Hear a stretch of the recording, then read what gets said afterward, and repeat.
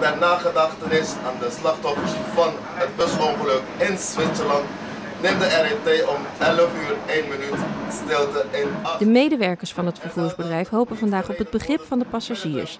Zij zelf vinden het niet meer dan logisch om stil te staan bij de slachtoffers. Ik vind het een waanzinnige actie. Ik heb zelf 12 kinderen en ik had met mijn vrouw erop. Ik kan me niet voorstellen dat het mijn kind had kunnen wezen, want ik zou echt gek zijn geweest. Echt eh, lekker op feestje gaat zeg maar en dan zit je te wachten.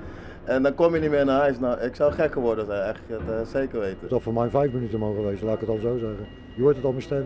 Ik sla een beetje over, want het eh, trekt mij eraan. Waarom emotioneert het u zo? Nou, omdat ik zelf ook een kind ben verloren, dus vandaar. En Dus dan u weet dat wat de ouders meemaken. Niet alle klokken lopen gelijk, maar om ongeveer 11 uur staan de meeste trams bij Centraal Station stil. En ook de passagiers waarderen dit initiatief. Het had ook misschien je, je eigen nichtje of een neef of je eigen kind kunnen zijn. Dus ik vind het wel respect. eh, ik vind wel dat je respect hebt als je dan even stilstaat een minuut. Je leeft een beetje met de mensen mee.